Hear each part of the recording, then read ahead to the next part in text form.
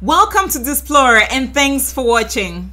In this video, we're excited to present to you some interesting facts about the beautiful island country of Madagascar. Officially referred to as the Republic of Madagascar, Madagascar is a beautiful African island country located in the Indian Ocean, approximately 400 kilometers off the coast of East Africa. Madagascar got its independence on the 26th of June 1960 and has gradually become one of Africa's finest islands. Madagascar is also rich in culture and bursting with astounding flora and fauna. From fascinating traditions and garments and a history thick with pirates to forests of ancient trees, this island is definitely worth exploring. Madagascar has a population of about 25 million people and the capital of this island is Antananarivo, which doubles as the country's most populated city. If you're new here, welcome. Be sure to subscribe and turn on notifications so you don't miss any of our videos. Although the country has several indigenous languages, the official languages of Madagascar are French and Malagasy. Let's take a closer look with the 10 things you probably didn't know about Madagascar. Number 1. Madagascar is the fourth largest island in the world. As far as islands go, Madagascar is one of the largest in the world, claiming fourth place at 592,800 square kilometers. Ahead of it are Greenland, New Guinea, and Borneo. Madagascar is the 21st largest country in Africa and the 46th in the world in terms of surface area. Its unique biodiversity is attributed largely to the fact that it has been isolated from the neighboring continents for millions of years. Everything was allowed to evolve in relative isolation for millions of years. Because of its unique flora and fauna and its size, it has been affectionately dubbed the eighth continent. Number 2. About 80% of the world's vanilla comes from Madagascar. If you're a fan of all things vanilla, then you love Madagascar. A huge amount of the world's real vanilla is grown there. Bourbon or black vanilla originates from the northwest of the country. While the vanilla orchid comes from Mexico and is pollinated by a rare bee, the story goes that in 1841, a young French-owned slave on what is today known as the Reunion Island discovered how to pollinate the orchids by hand. It wasn't long until vanilla plantations began to crop up in Madagascar. Today, they export around 1,000 tons of vanilla every year. Number 3. Madagascar was a French colony. Madagascar was given its name by Marco Polo who was the first European to report its existence. Although the Portuguese arrived next in the 1500s, it was the French who colonized the island and declared French as the official language. In the 1890s, the French set out to suppress the Malagasy language and all British influence. Madagascar finally gained its independence in 1960, although the French influence can still be observed from its cuisine. Common to find pastries and baguettes all over the country, especially in Antsirabe. While many people in the city speak French, you'll find it hard to get by in the countryside with any other language besides Malagasy. Number 4. 90% of plants and animal species found in Madagascar are seen nowhere else in the world. Apart from the lemurs, Madagascar is home to a large number of species you won't find anywhere else in the world. In fact, 90% of the wildlife is unique to the island due to its isolation. Go exploring and you'll discover exotic creatures like the carnivorous fossa, around 346 species of reptiles and over 6,000 endemic types of plants and trees. However, one of the biggest threats to the wonderful wildlife is the destruction of the natural habitat which leaves the island's non-human inhabitants extremely vulnerable. Deforestation, fires, erosion and alien species are amongst the biggest culprits. Number 5. Madagascar had a mad queen.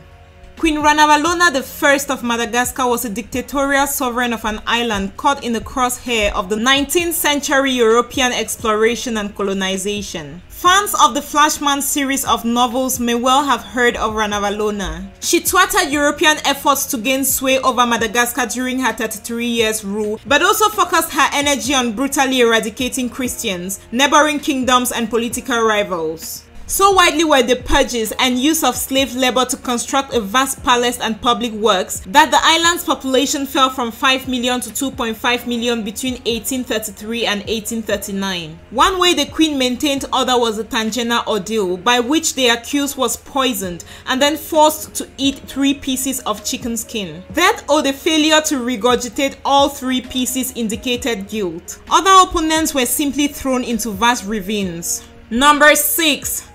Madagascar was settled by Asians before mainland Africans. The first humans to settle in Madagascar came from the island of Borneo, which is now divided between the countries of Brunei, Indonesia and Malaysia. They arrived between 350 BCE and 550 CE in canoes. They weren't joined by mainland Africans until almost 500 years later. Over time, other Africans, Asians, and European settler groups arrived, each bringing their own unique contribution to the culture of the island. Number 7. The cuisine of Madagascar reflects its cultural diversity. Foods eaten in Madagascar reflect the influence of Southeast Asians, Africans, Indians, Chinese, and European migrants that have settled on the island. The cornerstone of the diet is rice. In fact, the word to eat in Malagasy is mihinambary, which means to eat rice. Rice and local food sources were added by East African migrants, Arab and Indian merchants, and European transatlantic traders. In modern Malagasy cuisine, garlic, onion, ginger, tomatoes, curry, coconut milk, vanilla, cloves and turmeric are common flavorings. Zebu, a kind of African cattle is a common meat and peanuts, greens, bananas and rum all feature prominently. Madagascar is amongst the world's main suppliers of vanilla, cloves and ylang-ylang and also a major supplier of coffee, lychees and shrimps. Number 8. Madagascar is one of the poorest countries in the world. With an annual per capita income of 652 euros, Madagascar has been constantly ranked as one of the poorest countries in the world. After its independence from France, it struggled under the leadership of one incompetent government after another. A series of civil unrest and political chaos ensued. When ex-yogurt peddler Marc Ravalomanana took over as president in 2001, introducing new currency, rules, and reduced the country's foreign debt by $20 billion, Madagascar's future looked bright. Unfortunately, he's been ousted from office and the country is sliding back into political chaos. Number 9. Only 11% of the country's roads are paved. Traveling in Madagascar takes time, not only because it's a large country, but also because of its underdeveloped and poorly maintained infrastructure. According to the World Bank indicators, only 11% of the total roads are paved. Most of the roads are either extremely bumpy or potholed and muddy. During the rainy season, many of them are impassable, forming huge obstacles to travel. Most car rental agencies only allow car hire along with a driver. Number 10. 7.75% of the world's baobab trees exist only in Madagascar. There are only 8 species of baobab trees in the world. One of them is found in Australia, the other in mainland Africa, and the other 6 only in Madagascar. For the most photogenic baobab moments, head to the Wild West country around Morondava. There you'll find the famous Avenue de Baobab where two dozen trees rising up to 90 feet in the air line the dirty path heading to Belon'i Tsiribihina. As a little reward for sticking till the end of this video, here's an extra bonus fact for you. Number 11.